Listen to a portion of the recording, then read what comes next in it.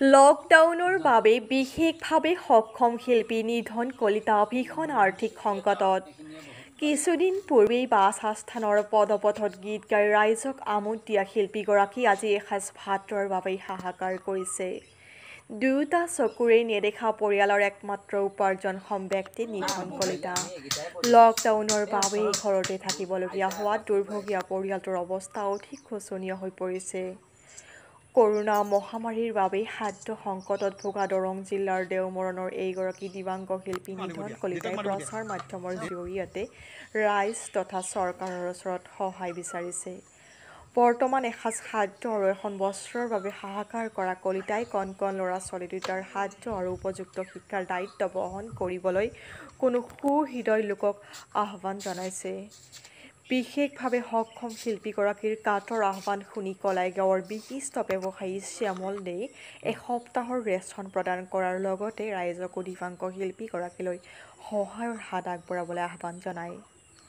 কলাইগাঁৱৰ পৰা staff reporter Pranjal চহৰীয়াৰ report North East live today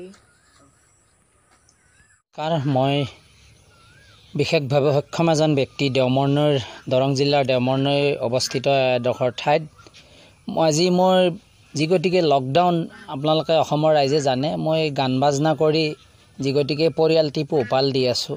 আজি দুমাহ আঢ়ৈ মাহ ধৰি যি গতিকে সমগ্ৰ বিশ্বত মহামাৰী কৰোণাৰ কাৰণে আমাৰ গৰীব দুখীয়াখিনিৰ অলপ চলাৰ কিছু অসুবিধা হৈছে। গতিকে সকলো চেনেলৰ কৰ্মকৰ্তালৈ মই ধন্যবাদ জনাইছোঁ।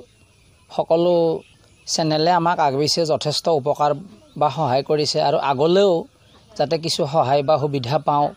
কাৰণ আপোনালোকে জানে মই আজি গানে মোৰ বিদ্যা গানে মোৰ সম্বল। যদি মই বাহিৰত যাব নোৱাৰোঁ মই এজন দৃষ্টিহীন ব্যক্তি গান গাব নোৱাৰিলে মোৰতো চলাৰ কোনো উপায় নাই।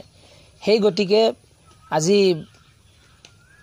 এইসকল ব্যক্তি মোৰ নিচিনা এজন অধমৰ ঘৰত আহি এইখিনি মই উপকাৰ কৰাৰ বাবে মই যথেষ্ট সুখী আৰু মই এওঁলোককো অনুৰোধ জনাওঁ।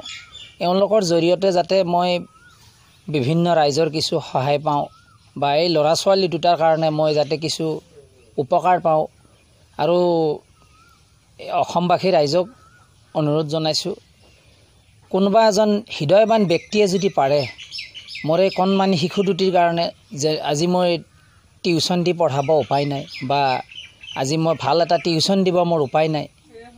গতিকে এই ল'ৰা ছোৱালী দুটাৰ কাৰণেও যদি কোনোবা এজন সহায়বান ব্যক্তি আগবাঢ়ি আহে বা অকণমান যদি পঢ়াৰ কাৰণে বা টিউশ্যনৰ কাৰণে অকণমান সহায় কৰে অন্তত ল'ৰা ছোৱালীকেইটা ভৱিষ্যত উপকাৰ কৰা হ'ব বুলি মই ভাবোঁ। আৰু মই যি গতিকে শিল্পী শিল্পী বুলি নকওঁ সেইটো অহংকাৰ হ'ব।